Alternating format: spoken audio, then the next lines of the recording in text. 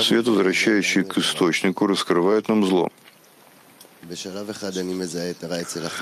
На первом этапе я раскрываю зло у других, и это остается у меня место, где я только вижу это у них. И прошу, не знаю что. На второй этап, когда я вижу это вне себя, соединяю это со злом во мне и прошу об исправлении.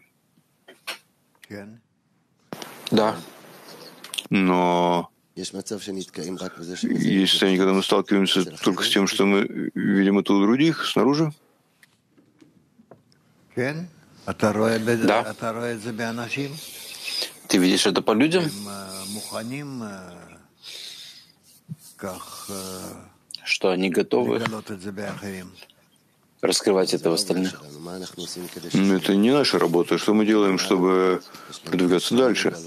У нас есть хисарон, который мы должны раскрыть, пробудить его, просить об исправлении.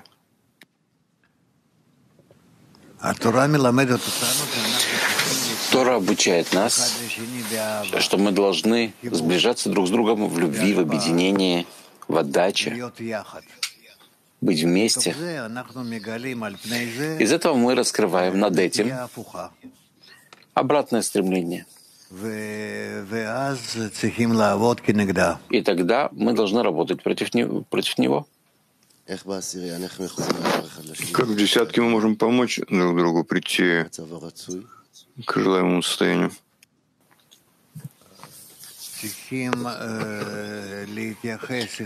Нужно относиться друг к другу, как будто мы находимся в едином теле, и во взаимной помощи, как между всеми частями общего тела, единого тела, мы приходим к состоянию, таким образом, что в объединении между нами мы начинаем раскрывать высшую силу —